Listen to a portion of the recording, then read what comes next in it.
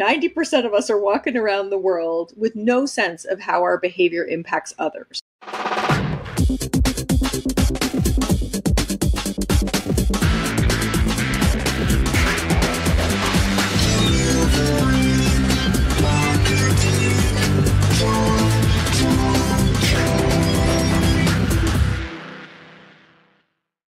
Hey there, and welcome to a brand new episode of Delivering Marketing Joy. I'm your host, Kirby Hasseman, and joining me today is a brand new rock star for the show, but I've had a chance to see her speak live in person. She's the author of The Good Fight Using Productive Conflict to Get Your Team and Organization Back on Track. Liane Davey, thanks so much for joining me. Oh, I'm so excited to be here, Kirby. Thanks. Thanks for the invite. Absolutely. So, I just want to uh, like I want to start with the with the good fight, right? Like I had the opportunity to see you speak at SKU Camp, an event uh, down in Austin, Texas, and it was awesome. I mean, it was like a workshop. You you spoke for a good amount of time. Really enjoyed it. But, you know, right at the beginning, you know, you're saying I was surprised when you're like, "Hey, work conflict is great. It's healthy." I got to be honest, I was held back by that. And when I told my wife later, I'm like, she talked about how awesome conflict can be. And, and, my wife, who avoids conflict at all costs, was like, I don't think so. So I'm not buying it. yeah, right. So, can yeah. you talk a little bit about what you mean by that, about how work yeah. conflict can be healthy? So let's just start with the actual definition of conflict because I think most of us don't realize conflict is just the struggle between incompatible and opposing needs, wishes, and demands. Mm-hmm. And, uh, you know, by noon on the average workday, most of us have come into contact with, I don't know, a dozen uh, spots where we've had incompatible or opposing needs, wishes, and demands. So we have to go back to that. It doesn't mean people are being nasty or bullying. Mm-hmm. It doesn't mean conflict. There's no grenades involved. But uh, conflict can be healthy because it is the source of really hard discussions about mm-hmm. trade offs. And we know prioritization gets us more return on our investment. It's the source of innovation. Mm-hmm. When we can see things from different perspectives and appreciate divergent views, uh, it's the source of risk mitigation. Uh, mm-hmm. If everybody was just like, What do you think of my plan? Yeah, it's good. Uh, then you know there would be so much risk happening so so conflict brings with it when we have conflict productively it brings with it uh, all of the things that we're responsible for delivering as a team or as a business Mm, man, that's really good because I think that's it. it. Conflict has this negative connotation because we think somebody's being a jerk, right? Yeah. And it's it, it it just means that we. It, it, it reminds me of, you know, I, I think of it in that light, the way you just described it of when I hear about different uh, things going on in the culture today. When I go to my daughter, my oldest daughter, and I go, "What do you think about this?" Because I'm yeah. not sure I buy this, and I get her perspective, right? That's yeah. kind of a healthy conflict because I'm. That's a very healthy conflict. Um, we ha- uh, we have a 21 year old and a 17 year old, and uh, there is a lot of, of, healthy conflict. But I've found on many many things these days, they've really helped me to see things with a new light. That yeah. conflict with them, which could be constructive at the dinner table, set me up to have healthier conversations with clients or yeah. or just be in a better place. So yeah, that's exactly what I'm talking about. And healthy conflict feels like tension. Hmm. It feels like, oh, that's stretching me in a direction I don't really go. it's kind of like the feeling of doing yoga. Right. Um, unhealthy conflict feels like friction, feels like mm getting a blister. Like that's just rubbing me the wrong way. It's mm slowing me down. So there is a difference. We we definitely want that tension form, that yoga stretch in our thinking, okay. as opposed to that what a jerk. That person's not listening to me. Yeah. You know, as I share my perspective, they just dig into their perspective. That's that's unhealthy and and that's none of us needs that in yeah, our lives. Especially not more of that, right? no, there's plenty of that. That's what Facebook is for, isn't that's it? Right. Or, that's or right. X or whatever. yeah. Yeah. Yeah. That's fair. Okay, so as as a leader, I think one of and I'll be honest, I mean one of my challenges of the leader or being a mm. leader is giving feedback because again, I don't want to be a jerk. I don't want to be whatever. So, do you have advice for giving negative feedback? Yes. Okay. Yeah, okay. I yeah, I was going to say, well, can you help me with that? Maybe ask the question no, I'm, I'm just being cheeky. Yeah. Um, okay. So the first thing is, let me clarify what feedback is mm. because 90% of us get that wrong. So feedback is novel information for someone uh, about the impact of their behavior on others. And um, feedback is important because uh, about 95% of people believe that they are self aware. Hmm. And the research shows that only about 10 to 15% of people actually are self aware. so the reason feedback is so important is like 90% of us are walking around the world with no sense of how our behavior impacts others. Hmm. The only way to bridge that gap is feedback. So when you're hmm. behaving in a certain way, you're making choices and you don't know that those are good or bad choices because you don't know the impact they're having. So, mm. feedback is when I give you information about how your choices, your behavior impacted me. So, mm. the first thing to say is that uh, by that standard, most of us aren't giving feedback ever. Right. what we're doing is we're we're just passing judgment, mm. uh, and and sometimes it's positive, uh, and it may be something like, oh my God, Kirby, I loved being on your podcast. You're a great podcast host. and, you know, that might feel nice. It doesn't feel very nice right. because it feels a bit hollow. Um, and that's judgment, it's not feedback. Mm. If I told you how your behavior uh, actually affected me, so if I said, wow, uh, when you sent me the questions in advance with time for me to think about them, and uh, you know, I came into this feeling much more confident, mm. much more prepared, and um, that is feedback. Mm. Your behavior um, and and the impact it had on me. And what's interesting is if you get the description of the behavior right, the person should be nodding their head. And now it's hmm. easy when the example is something positive, but you asked about negative feedback. Yeah. Um, and so in that case, you just say, you know, when we were on our Zoom call this morning, and you turned off your camera right, right, as I started presenting. That would be an example of me describing someone's behavior. Then I want to talk about what was the impact of their behavior. So I might say, it threw me way off my game. I started worrying about yeah. was this boring? Were you not engaged? I, I, was starting to worry if something had happened to you, and I wasn't focused on uh, on what I was saying. That's a piece of feedback. So the novel, this is the stuff that kind of blows people's minds. The novel information in feedback is about you, mm. not about them. Mm. So whatever I said in the description of your behavior you should be like, yep, that's true. Yeah, I did. That. I did turn off my camera, yeah. or I did send you the questions in advance. There should be nothing. It should be a giant yawn when you share the person's behavior. The novelty, the reason feedback is a gift, is the the truth, the value in feedback is this new insight, this like okay, I turned off, and, and actually, I literally, the camera example I use all the time because it was true during COVID. Um, I was with a team and somebody did turn off their camera at, at, a key moment in a meeting. And I was talking to one of the people afterwards, and they said, they told me the story. It really threw them off. They were so upset that she yeah. turned off her camera. So I said, Well, why don't you talk to her about it? Why don't you let it give her the feedback? Let her know how it threw you off your game. And it and, and the person had told themselves this whole story about right. why she turned off her camera and how she was disinterested.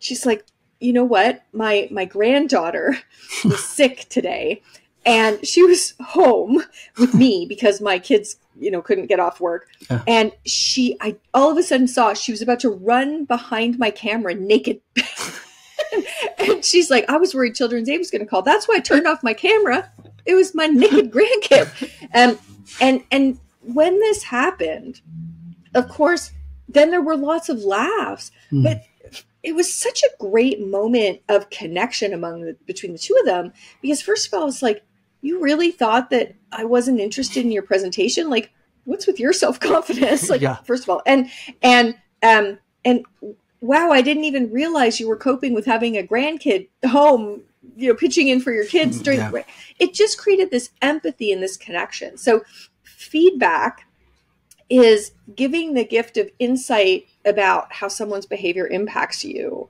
Mm. Um, it is not passing judgment about whether you liked what they did or you think it was good or bad or anything else. Um, and, and that's what we get wrong all the time. We evaluate yeah. people and pretend that that's feedback. And you know what? People don't like to be judged. So no mm-hmm. wonder they often get defensive. So we really want to move away from judgment, either positive judgment, praise, which is really hollow, mm. and instead switch to positive feedback, which tells them about how their behavior impacted you. So they know what was great and what they can do more of, but also making sure that when you're giving that negative feedback, um, you're very sterile and crisp about their behavior. And then the candor and the impact comes from you being vulnerable about, you know, this is how it affected me. So, you know, something quite different about feedback than where most people are at. Man, that's that, that's really good, Liane. I, I appreciate you going into that. Um, and and I, yeah, you know, pleasure. I think that one of the things I do as a leader is I hear that and go, hmm, I'm not sure I'm getting that right. So yeah, no, none of us is. Yeah, it's really rough. Yeah. So what are the times when I sh- when I shouldn't be? Uh, what what are examples of when I'm not giving feedback? Like, is there, are there examples of that of what like when I'm overstepping as a leader and not giving feedback, I'm doing something different? Yeah, yeah. So you know, I think about feedback as one of the blades in a Swiss Army knife of managerial tools. Mm-hmm. So, feedback is for situations where um, it's subjective. There are different choices a person could make. So, you know, one of the things we often hear feedback about, just as a silly example, so you may listen to someone give a pitch. Mm-hmm. They're rehearsing their pitch, and you're, you know, the judgment would be to say, you went too fast. Mm but you know what? You are not the objective owner of what's too fast and too slow. So you That's might say, point. you got through all of that in 10 minutes. That's an objective way of saying it. And then you say, I, I feel like I haven't even digested it. Uh, like I, am not, I'm not caught up yet. That's the impact on you. Okay. So um, that's feedback. But that's because it's subjective. Because somebody else listening to the same thing might have been like, you know, I, I was kind of twiddling my thumbs halfway right. through, right? So feedback suits situations where somebody is making a choice where there are lots of good options uh, and and just it's about how that option affected you. There's also instruction and that's the case where no no there's not lots of it's like you're using the crm this is how you input it. If you input the date this way it'll have the month and the day reversed. Like like the, that's instruction. There's coaching and coaching is when um, you actually help the person think differently. You ask questions to help them find new ways to accomplish their own goals. Hmm. So, okay, what are you trying to achieve with this presentation? And if they say, I just want a super quick level set, then you might say, okay, so, uh, you know, what might you do to make sure the folks who are the furthest behind, you know, get to that kind of level playing field. So you've asked it as a question and you've let them say how long, how much detail. So that's coaching. Mm. Um, you can give advice. And advice is when you want to, based on your own life experiences, help them avoid some mistakes or mm. that sort of thing. And so you might say, I've noticed with this group, because I know them well, um, you can have their attention for about 20 minutes. So, um, you know, I appreciate that you were moving at a good clip, my advice is you, you might not have to go that quickly. You've got them for 20. Don't go beyond 20. Yeah. So so there's you know what you'd never want to do is judgment. Avoid the judgment. But there is feedback, there's instruction, there's coaching, there's advice. And of course then as a manager, the last one in your in your Swiss Army knife is evaluation. And there are times when it's your job to assess their contribution relative to some standard, either what their smart objective was or relative to other people on the team or something. And that's okay. It's okay to say, that's my job. I have to give you a rating. Or mm-hmm. yeah. um, so think about those five different kind of tools in your managerial Swiss Army mm-hmm. knife. And the problem is we kind of talk about feedback as if it's supposed to be all of them. It's like we just have one blade. yeah. uh, and it's only good for those cases where it's, you know, a choice where there are a spectrum of potential choices and we're trying to understand how those choices affect different humans. Everything else, switch to a different tool. Yeah. I, I, I, tell you what, this is one of those things, Liane. I'm going to go back and I, listen to this over and over again, just because I feel like rep- repetition will be my friend on this, yeah. if that makes sense. Because I think this will take practice. But wow, that's really powerful. All right, final question. Um, okay. Because one of the things that I know is sometimes it's important to have difficult conversations, whether, you know, and difficult from yes. the person yes. yes. giving the feedback or, or instruction or whatever, and the person receiving it. What do you do after it's done? Yeah, I love that question. Um, I'm doing a series. I've recorded them. They're not up yet on YouTube or my YouTube channel. A series of seven shorts in a row about difficult conversations, and it starts with how do you prepare for a difficult conversation because we don't do enough of that. But yeah. it ends with exactly what you're asking about, which is we don't just then get all awkward and, and run away. I think about Beaker on the Muppet Show, right? Anytime Beaker on the Muppet Show got into some kind of an uncomfortable conversation, he'd just like meep and, and run away. Yeah. And so if you have a difficult conversation, first of all, in the moment, try and have some kind of resolution to the conversation if you can if you can handle it. So something to say, okay, let's kind of tie a bow around this phase of the conversation. So you might just say something like, you know, this was this was uncomfortable for me. Um, I'm really grateful for you sticking in there with me through this. Mm-hmm. Um, so the best way to kind of put a bow on it tends to be with some kind of a thank you, mm. um, and and particularly if it was messy on your side. Yeah. Um, so you know, often, for example, sometimes in a difficult conversation, I will have tears in my eyes, mm. and you know what you don't want to do at the end of the difficult conversation is apologize for that. Oh, I'm so sorry, I got emotional. No, don't apologize for being emotional. You should be proud of yourself for sticking with the difficult conversation. So shift instead to some kind of a thank you. Mm-hmm. Um, you know, thank you for sticking with me while I kind of got my thoughts clear on this. Yeah. Um, thank you for having the courage. Thank you for being candid with me about this. So mm-hmm. something that just says, okay, uh, you know, and, and, maybe it's because I can't take any more in. I'm gonna, right. I'm gonna blow, or I'm gonna, I'm yeah. gonna break down something to end that phase. But that's not the final. It's like a tchaikovsky ending. You need to have you know one more cannon boom later which is to follow up after. And follow up once you've had a chance to think through was there some kind of a commitment you want to go back with? So you know that was a really difficult conversation. What i took away is x and what i'm committing to you is y. Mm. or um, you know i'm so glad we had that conversation. I see things differently now you know, if I got it right, you've agreed to do A and I'm going to do B. Yeah. Um, so that's kind of the tie the loose ends. And then I think there's another opportunity um, to come back to, and it could be a month later, it could be six months later, to go back to say, you know, I'm reflecting on that conversation we had and how much I value it, on how it was a bit of an inflection point for me, in how I really value our relationship mm. because of you know your willingness to to go there with me um, so i think if you think about sort of three endings you know what's the in the moment ending of the difficult conversation then what's the action item kind of resolution to the difficult conversation and then if it makes sense you know what's the relationship close to the mm-hmm. conversation mm. that goes back to saying what it meant to you so think about it, it that does sound like a tchaikovsky kind of symphony there there's all sorts of fake endings. But um, I, I, think if you do that, people are going to, first of all, they're going to want to have more difficult conversations because it's going to feel rewarding. Right. Um, if you're telling people why you value them more as a team member because they're willing to do that with you, and it's going to reinforce in your head that this is worth it. I know yeah. it's really icky, but it's so worth it. Mm. Wow.